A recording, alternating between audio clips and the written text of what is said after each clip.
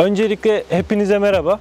Bugün böyle motosiklet inceleme videolarının yanında aynı zamanda böyle farklı bir konsept oluşturalım dedik. Belki sizin de aklınıza gelen sorular olursa bunları da cevaplamak adına bir konsept olsun istedik. Şöyle bir durum oluştu.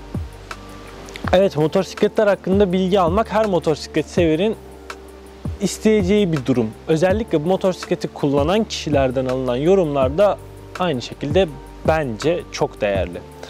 Fakat bir de bu durumun şöyle bir boyutu var. Şimdi size birisi çıkıp motosikletini anlatıyor. Birisi de ona sorular yöneltiyor. Bu soruları yönelten kişi kim? Öncelikle ben kimim? Size birazcık kendimden bahsetmek istedim. Adım Onur. 23 yaşındayım. Üniversiteden mezun oldum. İşte motosikletleri seviyorum. Yaklaşık 9 yıldır bir fil motosiklet kullanıyorum. Kuryelik de yaptım. Tamircide de bir süre çalıştım.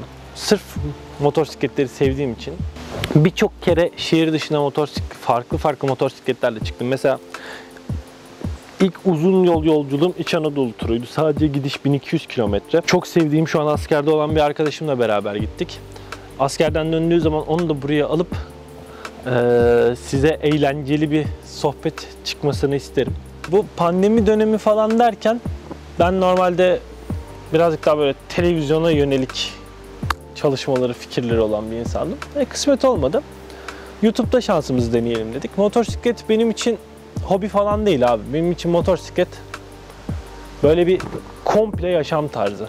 Hayatımda daha öncesinde birçok ikili ilişkilerimin bitmesine bile sebep olabilecek kadar hayatımda yer kaplayan bir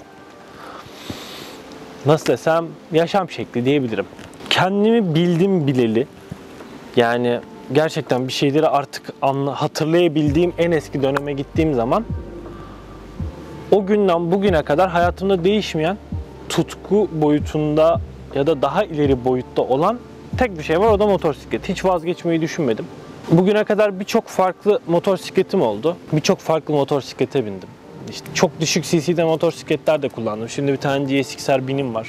Elimden geldiğince onu size zaten anlatacağım. Böyle de bir video gelecek kullandığım motosikleti size anlattım. Umarım hepiniz istediğiniz motosikletlere, hepiniz istediğiniz araçlara ulaşırsınız.